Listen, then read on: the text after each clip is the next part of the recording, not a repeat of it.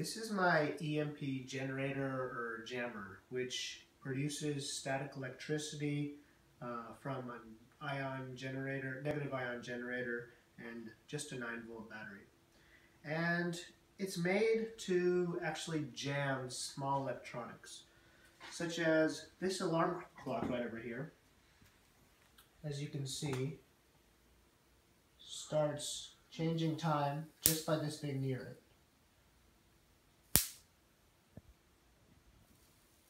And that's all the static electricity. And something like a calculator, as you can see, works just fine. However, when this is brought near it, any button I click does not type. But if I bring it away, it works. But then, if I bring it closer, again, it stops working. And actually, sometimes it will even turn off. This calculator, it might turn off, it might not. But also it does a similar thing. Oh, see, it turned off. I didn't even press the off button, and it shut off by itself. And um, if I actually use something like a coil, it would actually probably break it completely.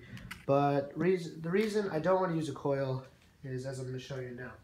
But before I do that, I'd like to show you uh, this light bulb.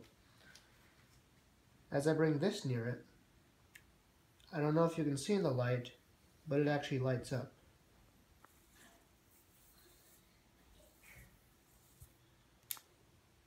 And any metallic object and any object in general will get shocked by this. As you see, this is a knife. When brought near it, bright electrical sparks.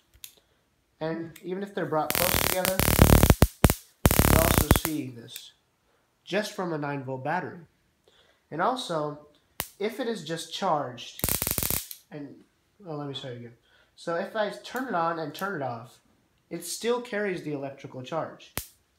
And if brought to the skin, it would hurt a lot. But since it's a 9 volt battery, it's not lethal or dangerous.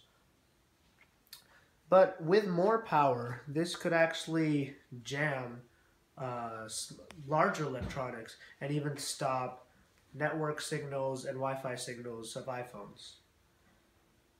And all this power just comes from one 9 volt battery and it's this one little device, but it produces an amazing result. Thank you for watching.